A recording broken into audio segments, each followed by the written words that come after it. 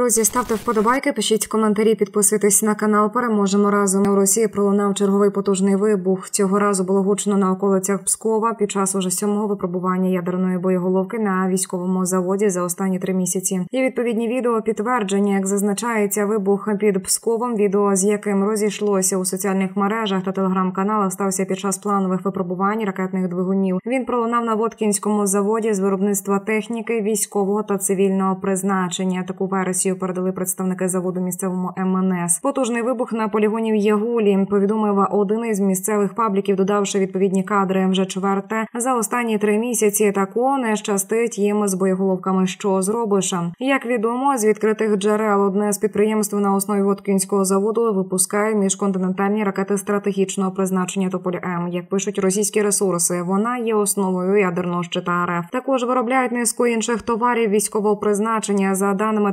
телеграм-каналів, загинуло 40 робітників, ще 70 поранено, а 20 зникли безвісти. Розірвало ядерну бойову частину боєголовки Тополь М. А рівень радіації збільшено вдвічі. Від заводу не залишилося нічого, як і пів Іжевська. 1856 будинків пошкоджено, 46 багатоповерхівок пошкоджено та завалено. Є прориви на військовій місцевій дамбі. А також знищена вся комунікація серед цивільних жертв не озвучено. Утім, місто закрито оточено, евакуйовано відрізано від інтернету. А кожного, хто намагається викласти наслідки, штурмить ФСБ. Великий ранок на Росії. У той же час утримання частини Курської області під контролем ЗСУ ще один із безліч інструментів примусу Путіна до переговорного процесу щодо справедливого завершення війни. Про це заявив радник залужного. Місяць курської операції показав, що, по перше, Російська Федерація не готова до реальної повномасштабної війни, тобто вони можуть ініціативно проявляти себе тільки на певних напрямках, де в них є тотальна перевага в ресурсі. Це ми з вами бачимо зараз у Донецькій області. Вони не можуть зараз працювати, створювати проблеми противнику і на інших напрямках, зокрема на Курському, сказав радник. По-друге, Курська операція показала, що у Путіна немає бажання захищати ні міфічні народи Донбасу, ні народи Курської області. Для Путіна існує тільки один тип війни класична загарбницька війна, тобто йти вперед за тими напрямками, які він визначив, щоб залякувати Україну, залякувати інші країни. Додав радник. По третє, Курська операція це перенесення війни на територію Росії. Це початок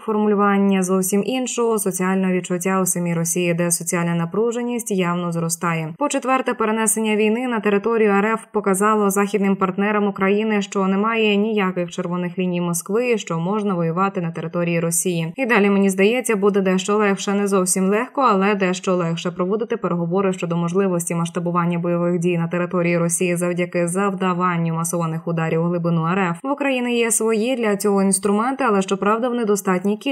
Але у достатній кількості вони є у наших партнерів, зазначив він. Він нагадав, що Російська Федерація отримує снаряди та ракети від Північної Кореї від Ірану, які використовує для знищення цивільного населення в Україні. У зв'язку з цим від західних партнерів хотілося б більше об'ємної реакції. Хотілося б усе таки отримати скасування неформальних заборон на завдання ударів західною зброєю в глибину території Російської Федерації. Сказав радник. Усі переваги, які отримала Україна від Курської операції, мають призвести до трьох базових рішень. Перше війна має бути на території Росії в повному обсязі. Друге для цього потрібно, щоб Україна отримала якнайшвидше належну кількість види зброї, в тому числі далекобійні. І третє не може бути жодних заборон на її використання, тому що Україна діє строго в рамках міжнародного права. А без застосування масових ударів по території РФ примусити Росію до переговорного процесу на умовах міжнародного права не вийде. Резюмував він. Редакція каналу не несе відповідальності за висловлювання окремих політологів, політиків, експертів та анонімних телеграм-каналів. Голова у кожного своя висновки кожен робить і сам. До зустрічі, друзі. Ставте вподобайки, пишіть коментарі, підписуйтесь на канал. Переможемо разом.